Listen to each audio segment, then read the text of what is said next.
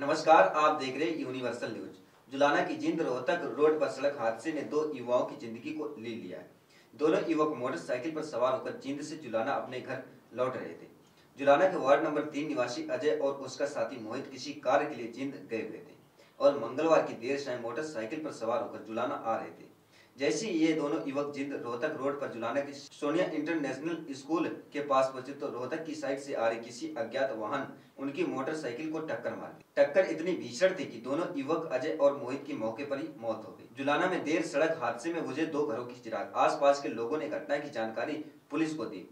Police को सूचना मिलती पुलिस मौके पर पहुँची और स्थिति का जायजा लिया। पुलिस ने दोनों युवकों के शव को जुलाना के सामुदायिक स्वास्थ्य केंद्र पहुँचा दिया है। यहाँ के चिकित्सकों ने शव को पोस्टमार्टम के लिए जिंद रेफर कर दिया है।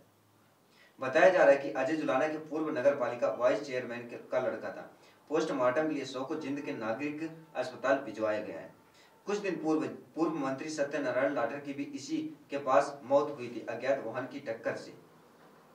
वहीं पुलिस का कहना है कि पुलिस को सूचना मिलती है पुलिस मौके पर पहुँची और स्थिति का जायजा लिया। पुलिस ने दोनों युवकों के शव को जुलाना के सामुदायिक स्वास्थ्य केंद्र पहुँचाया। यहाँ के चिकित्सकों ने दोनों शव को पोस्टमार्टम के लिए जिंद रेफर कर दिया है। थाना प्रभारी का कहना है कि विभिन्न धाराओं के तहत अज्ञात वाहन के लिए खिलाफ एफ़ कर ली गई है। नौ साढ़े नौ बजे के करीब शाम को किसी गैत वाहन ने एक मोटरसाइकिल सवार को टक्कर मार दी। उसके पीछे एक और बैठा था दोनों की मौत हो गई है और मुकदमा दर्ज कर दिया गया आगे तफ्तीश आगे दोनों की पहचान हो चुकी है क्या? दोनों पहचान हो चुकी है जुलाना के रहने वाले।